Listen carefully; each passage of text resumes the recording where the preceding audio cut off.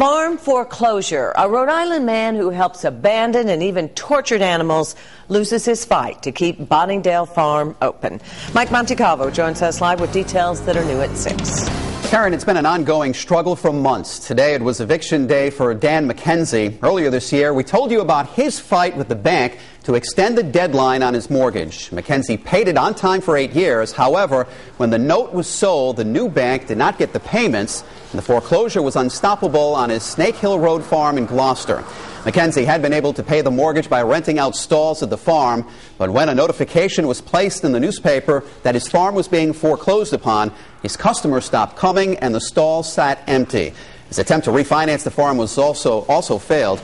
Today, McKenzie's farm was cleared of his animals and he was kicked off the land.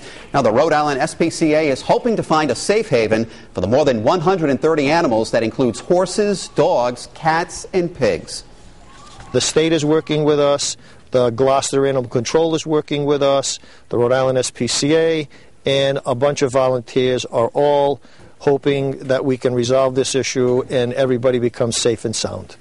EJ Finocchio also tells us he's confident all of the animals will be cared for. No word tonight if any of those animals will return to the property.